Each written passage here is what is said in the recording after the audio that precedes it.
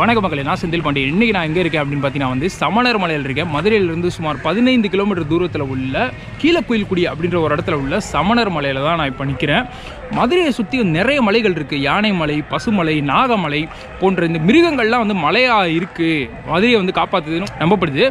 அப்படிப்பட்ட மதுரை வந்து சூழப்பட்ட மலையை வந்து இந்த மலையில இருந்து பார்த்தா எல்லா மலையும் தெரியும் அப்படின்ற மாதிரி சொல்கிறாங்க நிறைய வாட்டி இங்கே வந்திருக்கேன். ஸோ உங்களுக்கும் காட்டணும் இந்த மலையை அப்படின்றதுக்காக இந்த மலையில் ஏறி பார்ப்போம். நான் பார்த்து வியந்த ஒரு விஷயம் என்ன அப்படின்னு பார்த்தீங்கன்னா இந்த மலை மேலே வந்து பாபா படத்தில் ரஜினிகாந்த் போவார் தெரியுமா? இமயமலைக்கு. அப்போ ஒரு செட்டப் இருக்கும் தெரியுமா? அந்த மாதிரியே ஒரு இடம் மேலே இருக்குது மேலே வரைக்கும் தான் நான் ஏறி இருக்கேன். நீங்கள் பார்த்தாலே தெரியும்.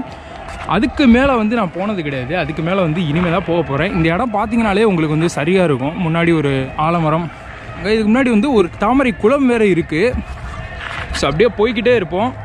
உள்ள நுழையிற இடத்துல ஒரு கருப்புசாமி கோயில் இருக்குது அது என்ன அப்படின்றத பார்த்துட்டு ஒவ்வொன்றா அப்படியே மேலே ஏறுவோம். வாங்க. சரிங்க பார்த்தீங்கன்னா முன்னாடி ஒரு சின்ன கோயில் இருக்குது இந்த பிள்ளையார் கோயிலேருந்து கும்பிட்டுட்டு தான் ஏறுவாங்க அப்படின்ற மாதிரி நினைக்கிறேன்.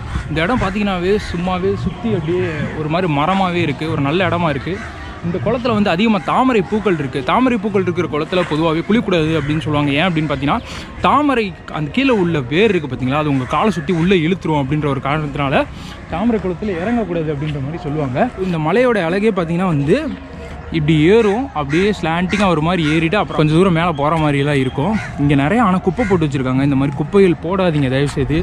ஏன்னா இதெல்லாம் வந்து ஒரு ஹிஸ்டாரிக்கல் பிளேஸ் அப்படின்றதுனால வந்து இங்கெல்லாம் குப்பை போடாதீங்க.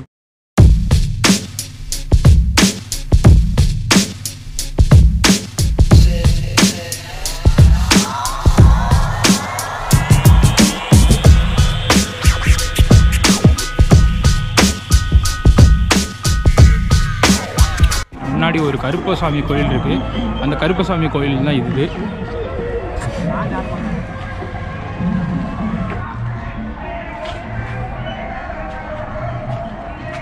ஸோ இதுதான் அந்த என்ட்ரன்ஸ் கருப்பசாமி கோயில் என்ட்ரன்ஸு ஸோ இதுக்குள்ளே நம்ம போய் பார்க்கலாம். செருப்பு அப்படியே இங்கேயே கழட்டி போட்டுருவோம். ஏன்னா கோயிலுக்குள்ளே செருப்பு போட்டு போகக்கூடாது அப்படின்ற காரணத்தினால பார்த்தீங்கன்னா வந்து இந்த கோயிலுக்கு அவ்வளோ ஆள் வந்த மாதிரி எனக்கு சரியாக தெரியலைங்க. பாருங்க.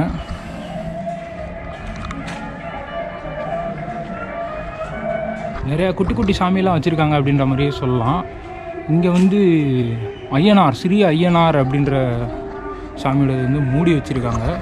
ஸோ இந்த கோயில் ஆல்ரெடி மூடி தான் இருக்கும். இதுதான் அந்த போகிற வழி. பார்த்தீங்கனாலே தெரியும். அப்படியே சைடில் அப்படியே அந்த ரயில் மாதிரி போட்டிருக்காங்க. அந்த ரயிலை பிடிச்சிட்டு தான் நீங்கள் ஏறுற மாதிரி இருக்கும். ஏன்னா வந்து உங்களுக்கு தெரியும் தோணும் இந்த இடத்துல எதுக்கு ரயிலை பிடிச்சி நம்ம ஏறணும்? ஈஸியாகவே நடக்கலாம் அப்படின்னா ஏன்னா கொஞ்சம் தூரத்துக்கு மேலே போனாலே வந்து உங்கள் கைப்பிடி இல்லாமல் உங்களால் ஏற முடியாது. ஸோ கைப்பிடி பிடிச்சா தான் போக முடியும். இங்க பாருங்க இந்த அங்கங்கே சின்ன சின்ன சிலைகள் நாக சிலைகள்லாம் இருக்குது ஸோ இந்த ஐயனாருடைய குதிரைகள்லாம் வச்சுருக்காங்க.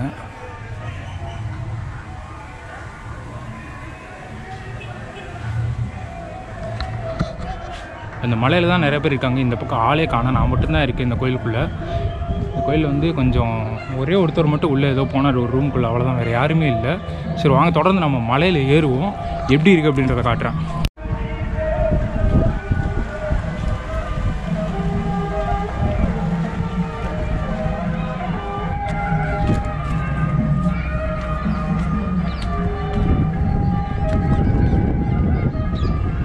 ஏற ஆரம்பிச்சிட்டேன். இந்த மலையில இருந்து. இந்த மலை கீழே வந்து அப்படியே கொஞ்சம் தூரம் வந்த மாதிரி தான் இருக்குது ஆனால் இருந்தாலும் வந்து இன்னும் கொஞ்சம் தூரம் நம்ம வந்து மேலே போகணும் அப்படின்ற மாதிரி இருக்குது ஸோ ஏறிகிட்டே இருப்போம். கொஞ்சம் தூரத்தில் கால் வலிக்க ஆரம்பிச்சிரும் அப்படின்னு தான் நினைக்கிறேன். ஆனால் ஒரு ரெண்டு மூணு வாட்டி நான் ஆல்ரெடி ஏறியிருக்கேன் பாதி வெளியிலே மூச்சு வாங்கிடும் இந்த ரயில் வந்து ஒரு இடத்துல முடிஞ்சிடும் அந்த இடத்துல என்ன இருக்கும் அப்படின்னு பார்த்தீங்கன்னா வந்து கல்வெட்டுகள் நிறையா இருக்கும். அதாவது தமிழ் பிரம்மி கல்வெட்டுகள்.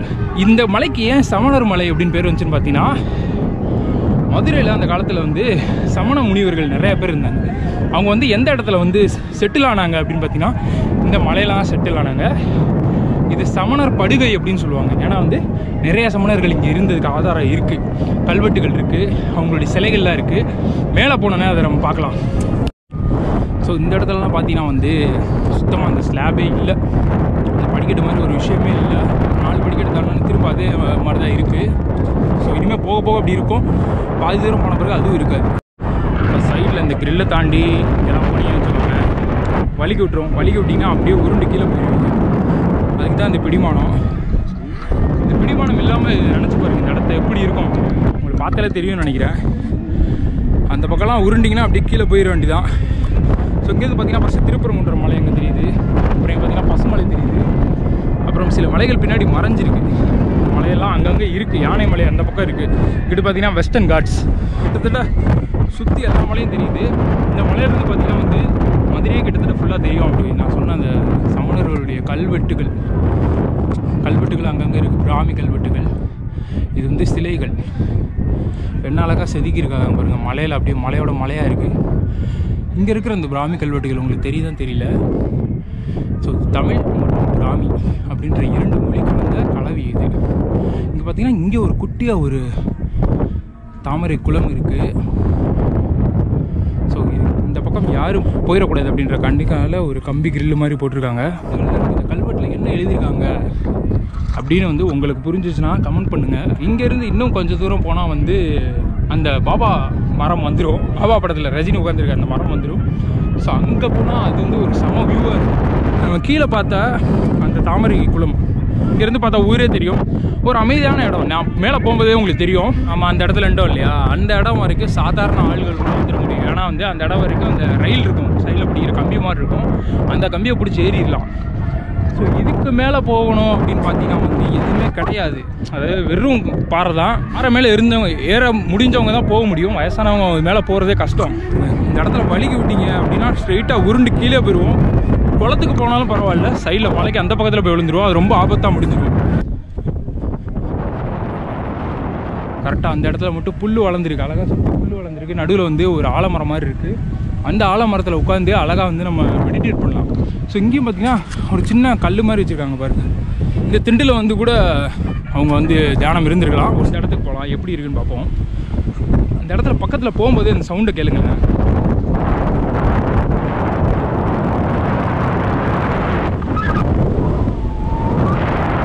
சூப்பர் காற்று வருது அப்படியே. அப்படியே இந்த இடத்துக்கு. அங்கங்கே குடிச்சிட்டு பாட்டிலை உடச்சி போட்டிருக்காங்க.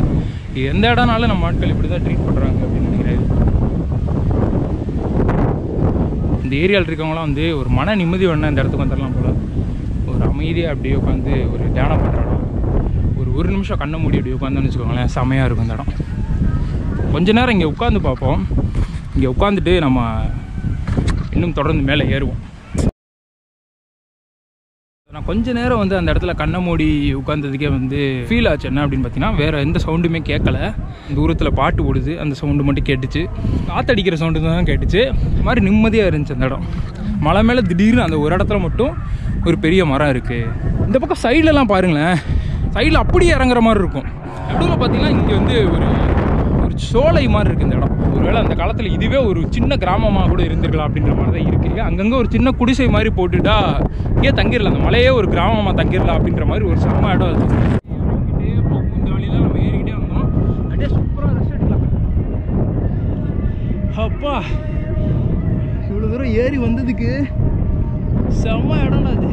இந்த இடத்துல அடிக்கிற காற்றுக்கு வந்து என்னை படுக்க சொன்னீங்கன்னு வச்சுக்கோங்க. அப்படியே படுத்து தூங்கிடுவேன் அப்புறம் வந்து நம்ம ரெஸ்ட் ஆஃப் த வீடியோ வந்து எடுக்க முடியாது அப்படின்ற காரணத்தினால வந்து இன்னும் அடுத்த குன்று வரைக்கும் ஏறலாம்.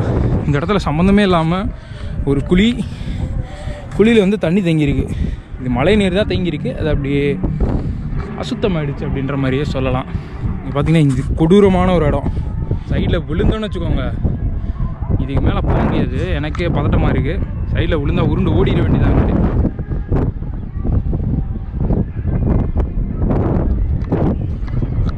பக்கத்தில் நிற்கும் போதே எனக்கு காற்றுல தள்ளி விழுந்துருவோமா? காற்றடிச்சு கீழே விழுந்துருவோமா அப்படின்ற ஒரு பயம் வந்துருச்சு எனக்கு. இங்கே ஒரு சின்ன பாறை மாதிரி இருக்குது இந்த பாறையில் கால் வச்சு அப்படியே இங்கே போன வச்சுக்கோங்க. இந்த பாறையில் உட்காந்தீங்கன்னா இன்னும் வெறித்தனமாக தெரியும்னு நினைக்கிறேன் ஊர். பயங்கரமாக அனமாக உங்களுக்கு காற்றடிக்கும்னு நினைக்கிறேன் கேமராவில் நான் அந்த எக்ஸ்டர்னல் மைக்கு மாட்டலை மறந்துட்டேன். ரெண்டு மூணு பேர் வந்தாங்க. கிட்டத்தட்ட எல்லோரும் கீழே போயிட்டாங்க.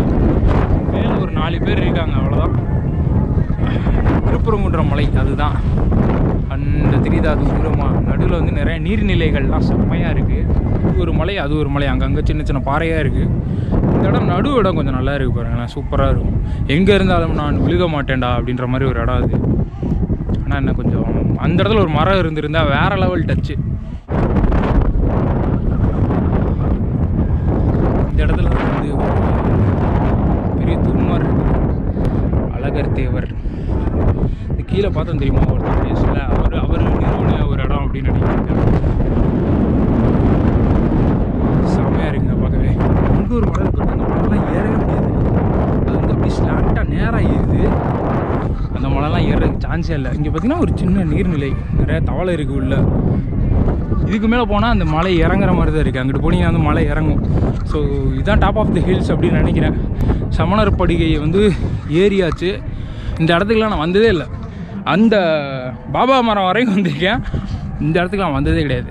இந்த மலை எனக்கு ரொம்ப பிடிச்சிருக்கேன் ஆனால் அந்த மலையில் கண்டிப்பாக ஏறவே முடியாது. சைடில் இருக்க மலையில் கூட ஏறலாம் போல். அந்த மலை நடுவில் இருக்கு பாருங்கள் அந்த மலையில் ஏறுறதுக்கு வாய்ப்பே இல்லை. அப்படி ஒரு இடம் அது. சூரியன் அப்படியே இறங்குது பாருங்கள் அப்படியே அந்த என்ன சொல்கிறது சன் ரேஸ்லாம் அந்த இதில் பட்டு மலையில் பட்டு வேறு லெவல் ஃபீலிங்கை கொடுக்குது இந்த இடம். அங்கே ஒரு சின்ன குகை மாதிரி தெரியுது உங்களுக்கு. தெரியுதா இல்லைன்னு தெரியல. நேராக கை விரலுக்கு நேராக பாருங்கள் செம ஸ்பாட் இது. அந்த இடத்துல போயிட்டு தியானம் இருக்கலாம் அப்படின்னு ஒரு செம இடம் அது. தியானம் இருக்கிறதுக்குனே அமைச்ச இடம் மாதிரி இருக்குது அங்கங்கே குட்டி குட்டி குகையாக உங்களுக்கு தெரியுதா? இந்த இந்த இடம் அந்த இடம். என்ன இருக்குது அப்படின்னு பார்த்தீங்கன்னா வந்து கயிறு கட்டி போட்டிருக்காங்க சுற்றி ரெண்டு ரவுண்டு இருக்குது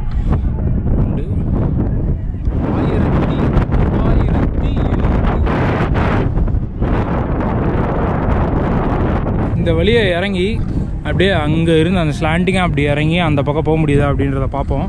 ஒரு குட்டி ட்ரெக்கிங் மாதிரி ஆகிப்போச்சு அந்த பக்கம் கிராஸ் பண்ணுறது இங்கே பாருங்க என் காலே வந்து இப்படி தான் இறங்குது.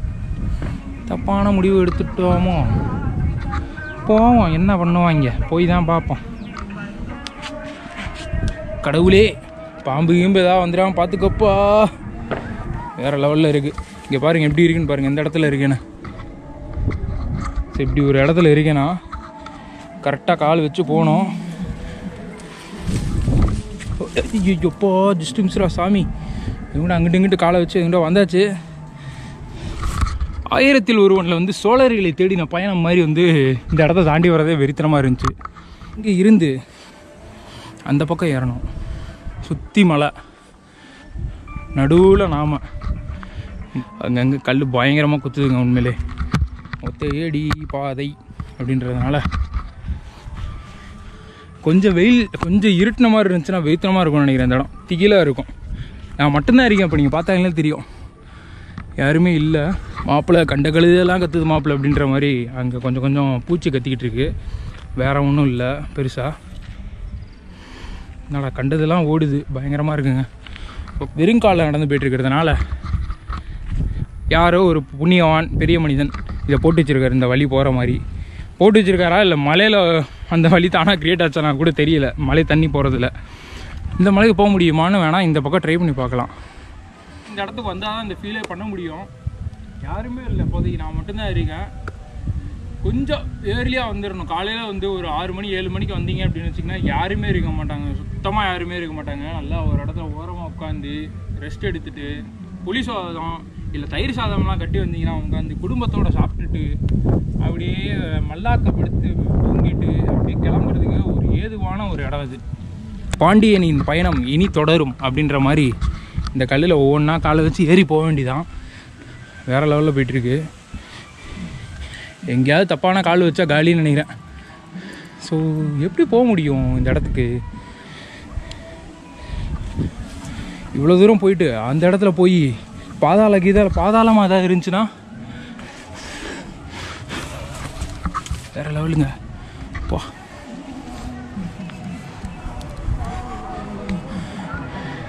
சந்து குந்தாக இருக்குது மீட்டோடுங்கடா ஐயா அப்படின்ற மாதிரி பாறையாக இருக்குது இந்த பாறையெல்லாம் அடிக்க வச்ச மாதிரி இருக்குது பயமாக இருக்கு இல்லையா? டக்குனு கிடையாது உருண்டுருமோ அப்படின்ற மாதிரி இருக்குது இந்த பாறை. இங்கே பாருங்க இந்த கோவை பாருங்க. தெரியுதா?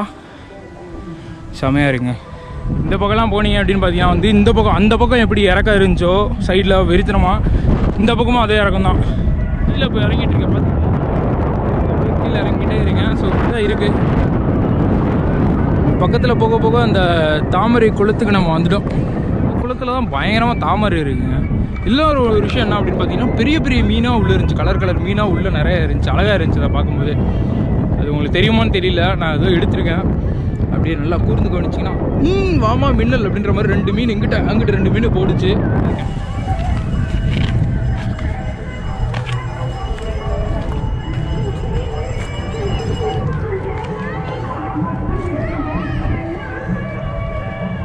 ஒரு வழியாக சமணர் கோகை ஏறி இறங்கியாச்சு. இப்போ வந்து இந்த அருகு வண்டி. வண்டியை எடுத்துட்டு இன்னும் கொஞ்சம் தூரம் போனீங்கன்னா வந்து மதுரைக்குள்ளே போயிட்டோம் அப்படின்னு பார்த்தீங்கன்னா வந்து இளநீர் சர்பத் போகிற வழியில் ஃபேமஸான ஒரு இடம். அந்த இளநீர் சர்பத் இருந்தால் அந்த இளநீர் சர்பத்தையும் போட்டுட்டு அப்படியே வீட்டுக்கு போகலாம் அப்படின்ட்டு இருக்கேன். வாங்க பார்க்கலாம்.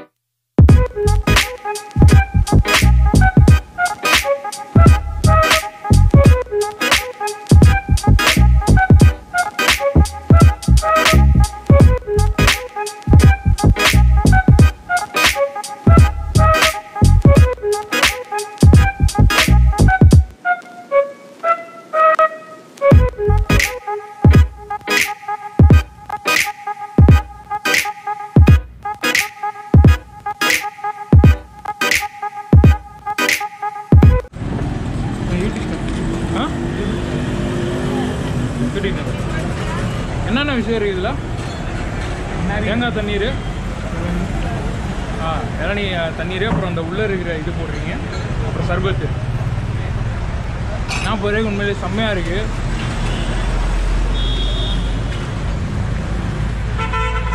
ஓகே ப்ரோ தேங்க்ஸ் ப்ரோ பார்ப்போம்